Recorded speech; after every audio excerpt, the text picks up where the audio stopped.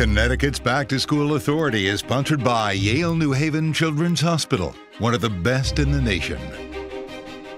Well, remote learning and hybrid schedules may help reduce the risk of spreading the coronavirus, but it also comes with some downsides. Yeah, I think it's hard for a lot of people. Students actually lose access to resources.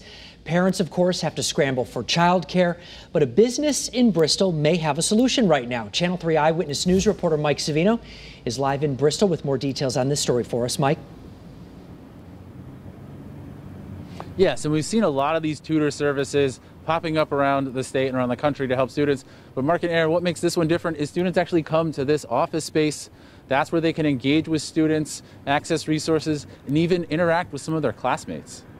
I know that there is an educational gap that is just going to continue to grow if the students aren't getting extra services or help with their distance learning. Rachel Hazelton left teaching a year ago, but she realized many students were going to fall behind because of distance learning. David Haberfield also saw this coming because of his own daughter's struggles after Governor Ned Lamont closed schools last spring. My daughter happens to be the perfect candidate for something like this. Both business owners realized on their own the potential for a new service, tutoring students who are learning remotely. But theirs has a different approach, providing office space where parents can bring their kids for the school day.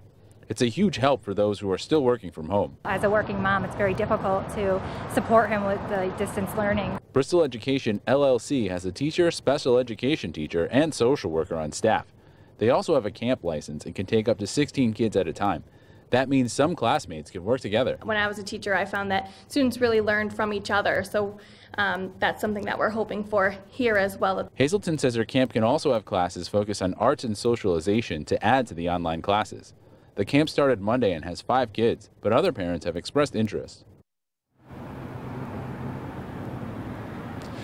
And the owners of the business say that they want to keep it just to Bristol for health and safety reasons, but they are considering opening up some of these other offices elsewhere around the state. I'll have more on that coming up on Eyewitness News at 6. For now, live from Bristol, Mike Savino, Channel 3 Eyewitness News.